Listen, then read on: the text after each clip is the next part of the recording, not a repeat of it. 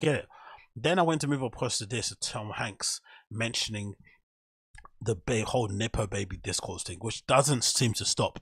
It's funny because I feel like this is the one thing a lot of these sort of like uh, Hollywood elite people seem to be really annoyed by and, and really willing to sort of die on the hill to kind of set the record straight. They really want it to be known that, hey, we are not nepo babies. This is what it is really about. Blah blah blah blah blah. More so than they would with any other topic, right? When it comes to racism, when it comes to even um, the gender pay gap, you know, inequalities or opportunities things, you hear them. They're completely mute.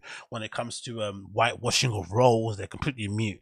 But when it comes to the nepotism baby discourse, they want to weigh in and let you know their children are not nepo babies. They're just suffering from success or something, right? It's absolutely maddening. But I thought Tom Hanks's reply to this was really, really funny and interesting. This is courtesy of Men's Health, and it says Tom Hanks has some things to say about the Nepo baby discourse. Um, it says here, Hollywood actor and mainstay Tom Hanks has been such a consistent, confident presence in pop culture over the last 40 years that he has earned a nickname America's Dad. But he is also an actual dad of four. There is actor Colin and actress Elizabeth from Hanks' first marriage to Samantha Lewis, then white boy summer advocate Chet, and youngest son Truman from his current marriage with singer Rita Wilson. All of Hanks' children have carved out careers in entertainment. Truman is about to make his acting debut opposite his father in a Mad called Otto, in which he plays a younger version of Tom Hanks' character. In a recent interview, Hanks addressed the idea that his kids are benefiting from Hollywood nepotism. He said the following Look, this is a family business. This is what we've been doing forever. It's all what our kids grew up in we have four kids. They're all creative. They're all involved in some kind of storytelling or some, some brand of storytelling.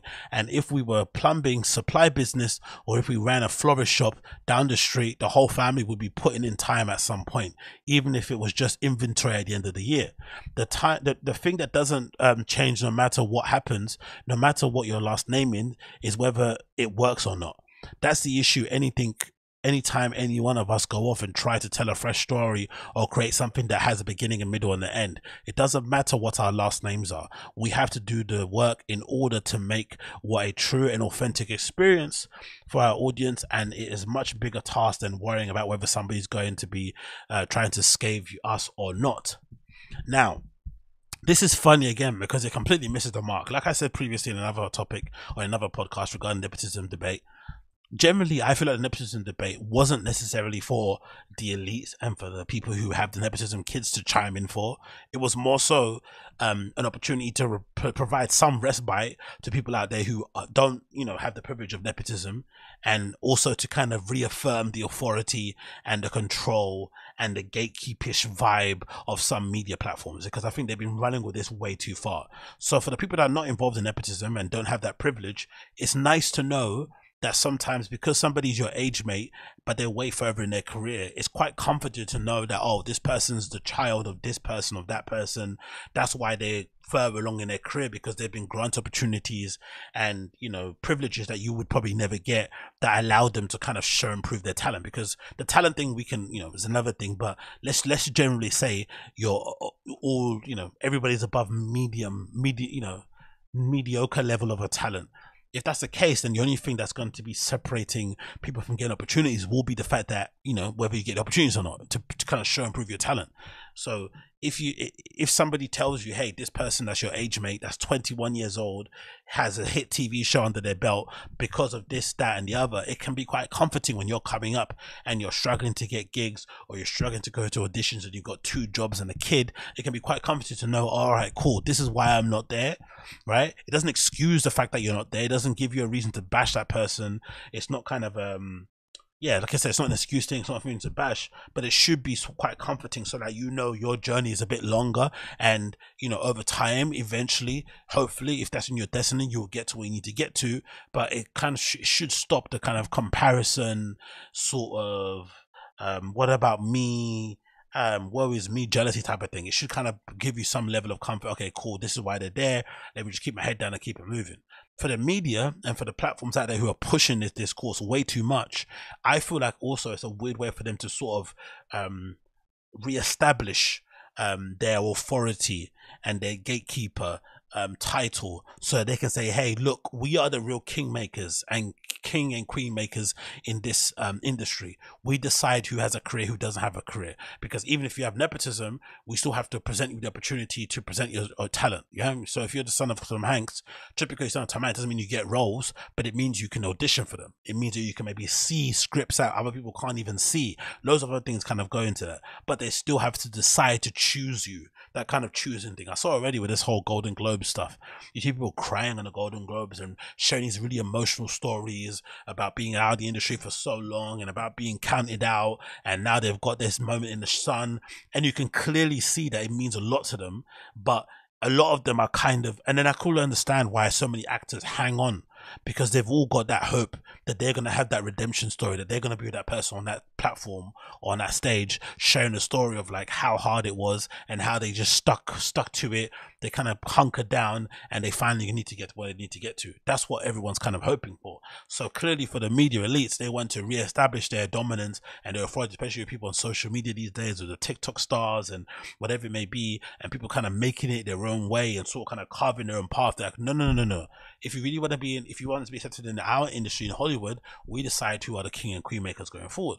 But I honestly do think for the people who are debating it, people like Tom Hanks and stuff, they miss the point or the mark because it's just not their reality in it. And you can kind of understand it, but they just don't understand that coming up without any access to these opportunities and what it may look like for somebody is just completely different. And people who have don't have the opportunities or privileges should be annoyed by it. It doesn't excuse the fact that they don't have the opportunities. Doesn't excuse the fact that they're not where they need to get to in their in, in their industry. But you know, being a little bit aggrieved that you don't have the same privileges that Chet Hanks does, or the same chances to mess up, or to basically an excuse from your obvious lack of talent or just kind of existing, it can be a little bit annoying. But I'm also sure being a Chet Hanks can also be its own version of hell, where you're essentially living under the shadow of somebody like a Tom Hanks being your dad, which is absolutely crazy because how are you ever going to surpass or meet whatever achievement he has met in his life? Everything that you do is going to be compared to him.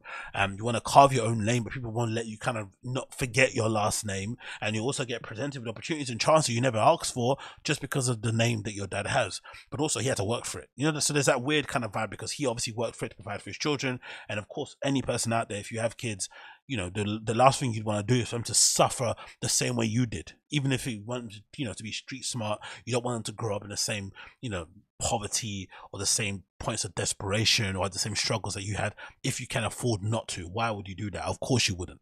So it makes complete sense why you're giving opportunities. But the idea that these people are going to be you know, would be where they are regardless because of hard work is just insane because we know that isn't the facts. But you also know your name doesn't always count for everything. Just because you have a name doesn't mean you're going to go anywhere in life. It could be, like I said, it could be some kind of prison. But this lack of understanding what it's like to be like the regular person out there can make some level of sense because they're quite detached and they're quite airy fairy up in the air. And I actually do like this, to be honest. I got to be honest. I like this approach because from Tom Hanks, what you see is somebody who's not really that kind of, you know, plugged into what the regular person's going through. They're a bit detached. Um, they don't really know the plight of the regular schmegular person out there, which is okay because you're fucking Tom Hanks. You shouldn't know what regular people are going through. But I feel like for the longest time, these people try to pretend like they knew what the average person was going through and they try to emote to it. They try to relate to it. They try to kind of, you know, LARP as they were kind of regular folks too when you're not. You've grown up in a lack of privilege. You have people kind of lapping and doting over you from the beginning of time. people surrounding you that are yes men. You've you basically been able to play adult pretender for the majority of your life and all these type of things. It's no wonder that you're a bit head in the clouds. That makes complete sense. But for the people out there struggling and trying to make it forward in life, it's good to know that these people Nepo babies in particular do get opportunities based on their last name, and that some of them aren't there's going to be on the same level that you are just based off that, and they get opportunities that you would never do. But it also is an excuse for you not to work hard. You still need to show up, improve, and present yourself. And in this life that we live in, nothing is fair. Just because you know, even the, the, the idea of an even playing field is never ever going to exist. So you always have to overcome and battle your own things to kind of get where you need to get to.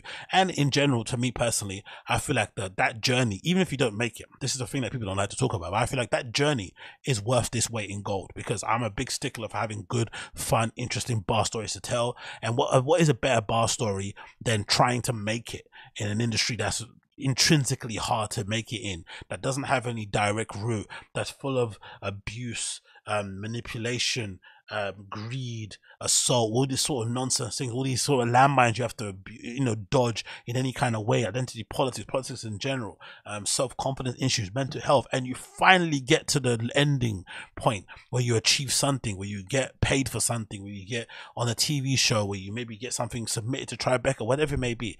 That journey should be worth it in itself even if it doesn't end up being a big, big, big success, the fact that you did it should be enough in itself because I can't imagine how hellish it must be trying to um, match or surpass what Tom Hanks did, knowing full well you're never going to do it, and knowing full well even if you did do it, everyone was, would attribute your success to your dad. That must be must play crazy games on your head. So there are kind of you know there are pros and cons to both sides of the argument, but I do like the fact that Tom Hanks is unaware and doesn't really have a grip on reality because he's fucking Tom Hanks. But this nepotism baby discourse is getting a bit boring. I'm not going to lie.